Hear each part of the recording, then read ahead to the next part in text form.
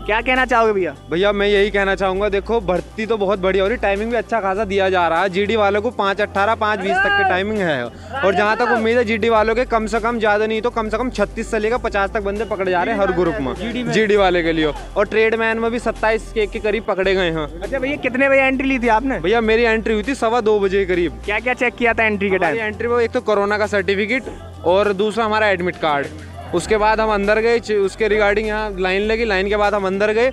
उसके बाद हमारा जो वहाँ पर एडमिट कार्ड को जो स्कैन किया गया, उसके बाद हमारी चेक इन हुई बैग की। कुछ हमारे पास कोई ऐसी नशीली दवाई वगैरह कुछ है तो नहीं है। उसके बाद सर हमें एक लाइन में बिठा दिया गया।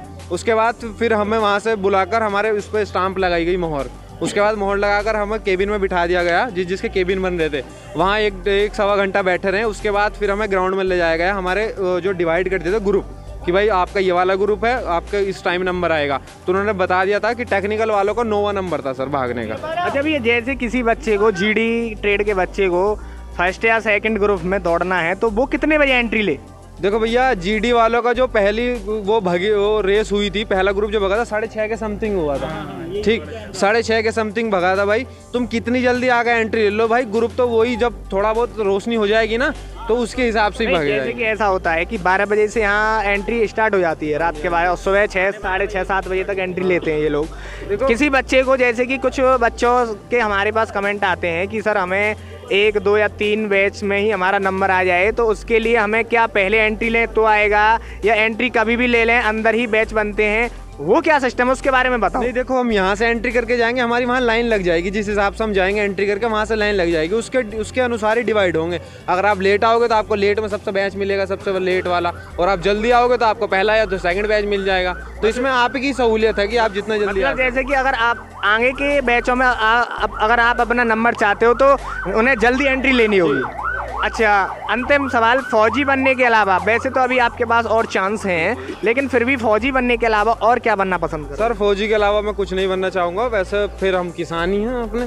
देखिए इन्होंने बताया काफ़ी सारी जानकारी दी इन्होंने और भी हमारे साथ अभ्यर्थी हैं भैया किस ट्रेड में रजिस्ट्रेशन कराया था आपने? मैंने क्लर्क में किया था। कितने बैच बने हैं आज क्लर्क में? दो बैच बने हैं। आ, कौन से बैच में थे आप? फ़र्स्ट बैच में था कितने बच्चे थे उसमें? उसमें 170 बच्चे थे। कितने बच्चों ने रनिंग क्वालिफाई की? उसमें 25-26 बच्चों ने ट्रेनिंग क्वालिफाई की है। लगभग जो आपने चार चक्कर कंप्लीट किए? नहीं मैं रस्ते से 20 मीटर दूर रहा। 20-30 मीटर दूर रहा अच्छा आपके अकॉर्डिंग जो आप बता रहे हो आपके बैच में से जो 25 26 बच्चे हैं 26 में बच्चे की लगभग क्या टाइमिंग होगी? एंट्री की उसने जैसे रनिंग क्वालिफाई की। पाँच अठारह होगी सर यानी कि आज क्लर्क के बैच में पाँच पंद्रह से ज़्यादा समय दिया गया है। टाइमिंग अच्छे बच्चे पकड़े अच्छा और दूसरे बैच में कितने बच्चों का बैच था? वो भी इतने ही का था। उसमें कितने क्वालिफाई हुए? उसमें चौबीस। चौबीस आपने कितने बजे एंट्री ली थी भैया? कितनी बजे? यहाँ एंट्री कितने बजे ली? साढ़े तीन चार बजे से लगी। चार बजे चार बजे से लगी चार बजे क्या क्या चेक किया था एंट्री के टाइम एडमिट कार्ड और कोरोना रिपोर्ट बस। अच्छा जैसे कि किसी के पास 48 घंटे से ज़्यादा की रिपोर्ट है जैसे 50 या 60 घंटे की तो क्या उसे एंट्री नहीं मिल रही है? हाँ बिल्कुल बिल्कुल नहीं पता सर हमारी तो 48 घंटे के अंदर की वो चेक की। आपने कब कराई थी कोविड नाइन्टीन की टेस्ट तीन तारीख को कराई थी। तीन को कराया था।